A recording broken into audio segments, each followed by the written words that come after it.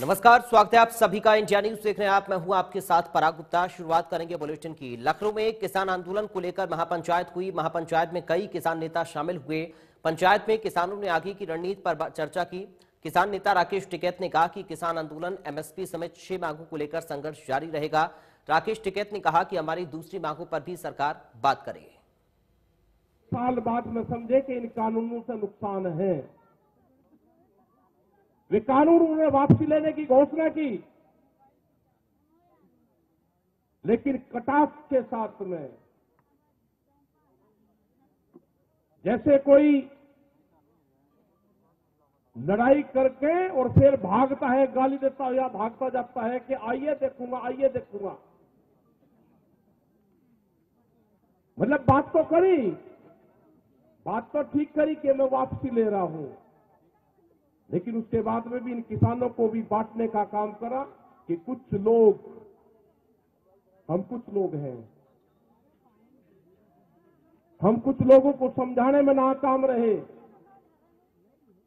देश से माफ़ी मांगते हैं।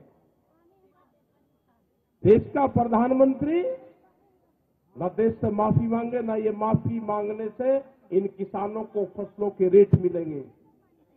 इनको रेट मिलेंगे एमएसपी पे गारंटी कानून बनाने से। पिछले तीन दिन से ये कह रहे हैं कि सरकार ने कानून वापसी ले लिया, आपको विश्वास नहीं है। हम कह रहे हैं कि हमारे मसले और भी हैं। एमएसपी पे गारंटी कानून सीड बिल, पोल्यूशन वाला बिल, दूध की पॉलिसी, जो किसान हमारे शहीद हुए, उनका क्या होगा? हमारे मसले तीन नहीं हैं, जो सत्रह कानून और पार्लियामेंट में आ रहे हैं, वो भी हमारे मसले हैं। सरकार या तो बातचीत कर ले सोलह माथी बातचीत कर ले सरकार। नहीं तो हम जाने वाले नहीं हैं। ये आंदोलन हमारा पूरे देश भर में चलेगा। हम उनकी खिलाफत पूरे देश भर में करेंगे। पूरा संयुक्त मोर्चे के लोग पूरे देश में मीटिंगें करेंगे। रोज़गार की गारंटी देने की बात करी थी अपने घोषणा पत्र में। वे चौदह करोड़ नौजवान तैयार रहे, संघर्ष जारी रहेगा अभी। संघर्ष विश्राम की घोषणा हमने नहीं करी। संघर्ष विश्राम की घोषणा भारत सरकार ने करी।